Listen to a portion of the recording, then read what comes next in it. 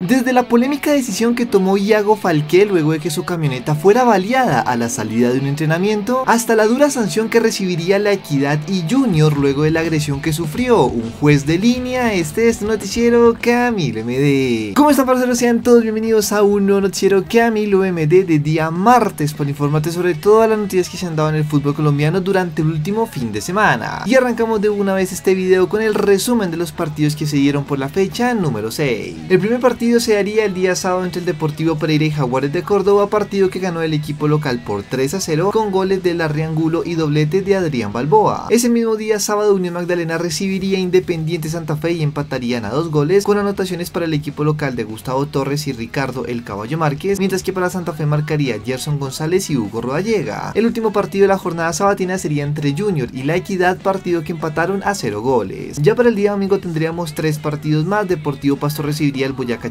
Y empatarían a un gol con anotación para el equipo local de Gilson Rosales y para el equipo visitante de Mauricio Liñá. Luego Independiente Medellín recibiría Alianza Petrolera y le ganaría por 2 a 1 con goles de Edwin Cetré y Luis Manuel Orejuela, mientras que para Alianza Petrolera descontaría Pedro Franco. Y el último partido de la jornada dominical sería entre Atlético Huila y Atlético Nacional, partido que ganó el equipo visitante por 1 a 0 con gol de Nelson de Osa. Los últimos dos partidos de la jornada se disputarían el día lunes empezando con Bucaramanga 1, Águila Doradas 1, partido en el cual anotó en el equipo local Misael Martínez y en el equipo visitante Marco Pérez. Y por último Millonarios recibiría en el Campinal 11 Caldas y ganaría por 2 a 1 mm, con goles de Daniel Cataño y autogol de Andrés Felipe Correa, mientras que para 11 Caldas descontaría Luis Fernando Miranda. A falta solamente de los dos partidos aplazados de esta fecha entre Envigado América y Cali Tolima, la tabla de posiciones se encuentra de la siguiente manera. Independiente Medellín es el nuevo líder del campeonato con 13 puntos, seguido de Bucaramanga, Nacional y Águilas Doradas, cada uno con 11 puntos. La Equidad, Alianza Petrolera, Deportivo Pasto, Santa Fe y Millonarios, cada uno cuenta con 8 puntos, 11 Caldas, Tolima y Huila tienen 7 puntos, Jaguares de Córdoba cuenta con 6 puntos, América y Pereira con 5, Unión Magdalena, Junior y Cali con 4 puntos, Boyacá Chico con 3 y el último del campeonato es el Envigado con 2 puntos. A pesar de que la fecha 6 apenas acabó el día de ayer, el día de hoy martes ya arranca la fecha 7 con el partido entre Jaguares de Córdoba y Unión Magdalena a las 6 y 15 de la tarde. Para el día de mañana miércoles tendremos varios partidos, Alianza contra la Equidad a las 4 y 45, Santa Fe contra Envigado a las 6 y 15 y Junior contra América a las 8 y media de la noche. Para el día jueves tendremos tres partidos más, Boyacá Chico contra Huila a las 4 de la tarde, Nacional contra Pasto a las 6 y 20 de la tarde y Cali contra Millonarios a las 8 y media de la noche. Por último el día viernes tendremos dos partidos, 11 Caldas Bucaramanga a las 6 y 15 de la tarde y Águilas Doradas contra Medellín a las 8 y media de la noche. Durante esta semana también vamos a tener participación de equipos colombianos en la Copa Libertadores. Como ya la mayoría de ustedes lo sabe, Deportivo Pereira logró clasificarse a la fase de cuartos de final y enfrentará el partido de ida en condición de local contra Palmeiras mañana a las 7 y media de la noche. Esperemos que el Deportivo Pereira pueda sacar una buena ventaja en el partido de ida que le permita luchar en el partido de vuelta por clasificarse a las semifinales. Y por último tenemos que hablar de la Copa Colombia y es que el día de hoy martes a las 8 y media de la noche se hizo el sorteo oficial de la fase de cuartos de final en la cual participarán Millonarios, Santa Fe, Nacional, Pereira, Alianza, Medellín, Águilas y Cúcuta Deportivo. Por aquí en pantalla te estaré dejando cómo quedaron los enfrentamientos en esta fase de cuartos y de paso cuáles van a ser sus respectivas llaves hasta llegar a la gran final. Recordemos que los partidos de ida de los cuartos de final se van a disputar en la semana del 30 y 31 de agosto y los partidos de vuelta un mes después, en la semana del 29 y 28 de septiembre. Dicho eso, pasamos de una vez con el resumen de las declaraciones más importantes que dieron los entrenadores luego de la fecha número 6. Y arrancamos con Arturo Reyes, nuevo entrenador de Junior de Barranquilla, el cual luego de sacar un empate contra la Equidad, salvándose al último minuto porque les anularon un gol en contra, aseguró que en estos primeros días en su regreso al Junior lo que más nota que le falta al equipo es una victoria. Es normal que cuando hay algunos resultados que no se dan en, en todas, en todas partes pasa lo mismo, eh, en cualquier trabajo pasa lo mismo, cuando las cosas no salen se pierde algo de confianza, pero creo que en ese sentido de parte de, de este cuerpo técnico estamos tratando de, de, ir hablando poco a poco con el grupo y lógicamente un, un resultado positivo, resultado de tres puntos, no tengo duda de que nos va a ayudar muchísimo en ese tema. Por su parte Alexis García, entrenador de la Equidad luego de este partido, no quedó muy satisfecho con el empate no solamente porque le anularon un gol al último minuto, sino también por la agresión que sufrió un juez de línea por parte de los hinchas del Junior. Es lindo uno salir felicitado hasta por los rivales, como los jugadores de ellos, eh, porque entre los jugadores de ellos, entre ellos y nosotros no había problema. El problema era únicamente un problema creado desde algo que no nos compete a nosotros. Digamos, eh, salir un árbitro de techo herido me parece escandaloso y me parece que merece, porque como la tribuna de nosotros está detrás del banco nuestro, pues nosotros lo único que hacemos es ver el fútbol. Eso merece ser revisado realmente. Me, da mucha tristeza por el espectáculo que dio la equidad en el segundo tiempo y me da mucha tristeza que no le hayan validado el gol. Vi uno igualito del Real Madrid y veo goles de eso en Argentina y no, no, no veo un motivo para anular. Néstor Cravioto, ex entrenador de Atlético Huila, porque lastimosamente fue despedido luego del partido contra Nacional, en la rueda de prensa luego de perder contra el equipo Ordolaga, se quejó por el gol que le anularon al Huila por fuera de lugar. En redes sociales se ha hablado bastante de la imagen que compartió el bar, en la cual para muchos ni siquiera se puede ver cuál es la línea del fuera de lugar y cuál es la línea que lo habilita. Hoy se vio un equipo, no digo que parecido al de Pereira, pero con esa actitud, con esa gana. Por eso remarqué la gana que tuvo el equipo, la actitud, lo bien parado que estuvo en líneas generales. No tuvo muchas zozobras, sí, alguna en el segundo tiempo, pero también hay una virtud del equipo rival.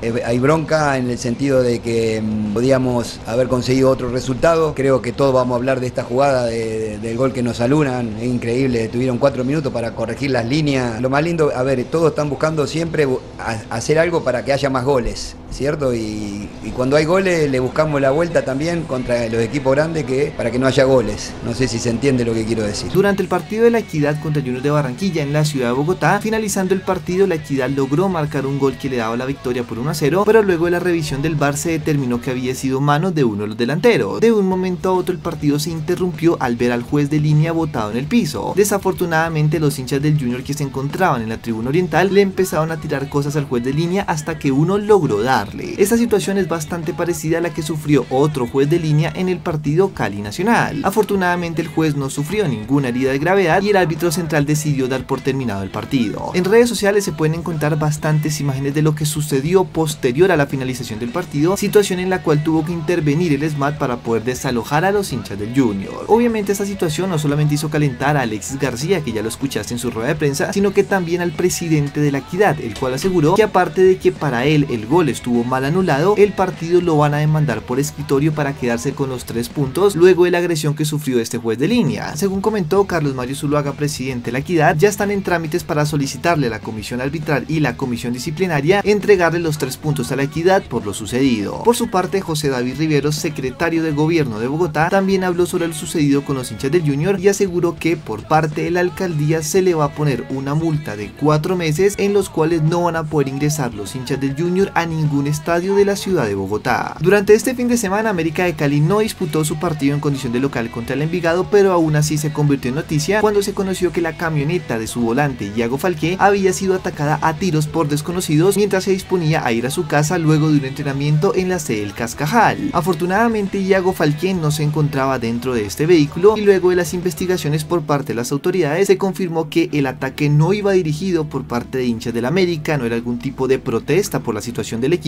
ni tampoco querían atacar al jugador. Según comentó la policía, los desconocidos querían robarle sus pertenencias al conductor de la camioneta, el cual al negarse y no abrir la ventanilla terminó recibiendo los dos disparos. A pesar de que ya se confirmó que el ataque no iba dirigido a Iago Falqué, que no eran hinchas del América que estaban tal vez molestos por la situación del equipo, la realidad es que Iago Falqué con esta situación que se presentó decidió irse de la ciudad de Cali. Según confirmó Tulio Gómez tanto en ESPN como en una entrevista en el bar Caracol, Iago Falqué luego de lo sucedido ya no se encuentra en el Valle del Cauca. En estas mismas entrevistas, Tulio Gómez aseguró que la decisión la va a tomar Diego Falqué de si continúa o no en el equipo, pero que no hay ningún tipo de presión por parte de la directiva, ya que entiende que la situación puede ser traumática no solamente para él, sino también para su familia. Por el momento no se sabe del paradero Diego Falqué, muchos aseguran que se devolvió a territorio español y tampoco se conoce a día de hoy cuál va a ser la decisión que tomará, si volverá a la América de Cali para disputar el segundo semestre o por el contrario rescindirá su contrato. Las hinchadas en el fútbol colombiano también fueron protagonistas durante esta semana. El primer caso se presentó en la ciudad de Santa Marta luego del partido en el cual Unión empató a dos goles con Santa Fe y al finalizar el encuentro en la tribuna algunos hinchas estaban recriminándole al papá del caballo Márquez que también se encontraba en la tribuna el mal rendimiento de su hijo en la cancha, situación de la cual se percató el caballo Márquez que estaba en la cancha y decidió salir corriendo, treparse a la tribuna e ir a pelear con los hinchas que estaban increpando a su padre. Afortunadamente como se puede ver en las imágenes lograron detener al caballo, no se metió problemas con ningún hincha y luego de intercambiar un par de insultos se devolvió a la cancha. La segunda imagen relacionada con hinchas bastante llamativa se presentó en el estadio Hernán Ramírez Villegas de la ciudad de Pereira en la previa del partido del equipo Matecaña contra Jaguares de Córdoba en las requisas que hacía la policía a un hincha entre muchas comillas se le incautó como se puede ver en imágenes un machete de una proporción bastante grande aunque muchas personas bromearon en redes sociales que seguramente iba a podar el campo más allá del humor que se puede sacar de esta situación se puede ver como hay muchas personas que ingresan a los estadios con un motivo totalmente distinto al de disfrutar el fútbol y la tercera imagen tiene que ver con millonarios pero es una situación que se presentó hace ya varios días pero hasta ahora se conocieron cuáles fueron las sanciones a la tribuna y es que en el partido entre Millonarios y Deportes Tolima del 7 de agosto, horas antes del inicio del partido, los comandos azules decidieron ingresar a la tribuna norte el ataúd de uno de sus compañeros. Una situación poco ortodoxa que llamó la atención de muchas personas, principalmente porque el ataúd no era algo simbólico, sino que dentro de él se encontraba el hincha fallecido. Como se podrán imaginar, la Comisión Distrital de Seguridad, Comodidad y Convivencia del Fútbol de Bogotá decidió sancionar a esta barra y ahora los hinchas que van a la tribuna norte no podrán llevar camisetas alusivas al equipo, ni banderas, instrumentos musicales ni nada que tenga que ver con Millonarios por las próximas 5 fechas que dispute el equipo de local. Si hablamos de la ciudad de Bogotá tenemos que pasar a hablar de Independiente Santa Fe, equipo que luego del empate a dos goles con el Unión Magdalena en condición de visitante dejó a más de un hincha preocupado no solamente por el nivel de juego que tiene el equipo, sino de paso por la señal de dolor y tristeza que mostró Hugo Rodallega, el capitán del equipo y de paso una de sus principales figuras en los últimos partidos, lastimosamente presentó en los últimos minutos del partido una lesión muscular en el recto femoral derecho, una situación que sí o sí va a dejar a Rodallega por fuera de las canchas al menos por un mes. Pero curiosamente mientras todos hablaban de que Santa Fe no tendría reemplazo para este jugador, el periodista de Win Sports Alexis Rodríguez confirmó que el delantero argentino Mauro Zárate fue ofrecido al equipo cardenal. Este jugador que pasó por varios equipos argentinos y que actualmente se encontraba en la segunda división del fútbol italiano, ya habría tenido algunas conversaciones con Eduardo Méndez, presidente del equipo, y estaría bastante interesado en llegar al fútbol colombiano. Hasta el momento esto simplemente es un rumor que dio un periodista de Win Sports, pero muchas personas en redes sociales ya han debatido si la llegada de este jugador podría ayudar al equipo con la ausencia que va a tener de Hugo Rodallega. Y ese sí señores ha sido todo tu resumen deportivo en este tu noticiero que a mí le MD. Dicho eso señores, pasamos de una vez con la sección más aclamada por toda YouTube Colombia, los memes de la semana.